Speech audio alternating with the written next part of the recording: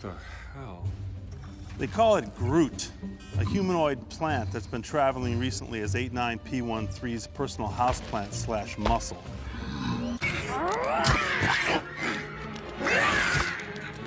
I am Groot.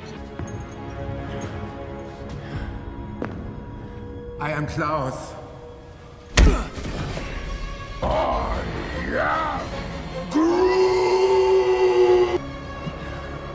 John, I am Klaus.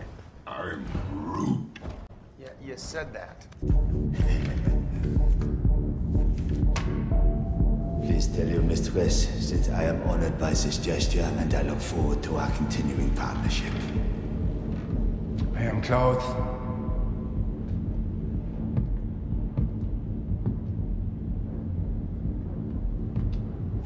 We are Groot.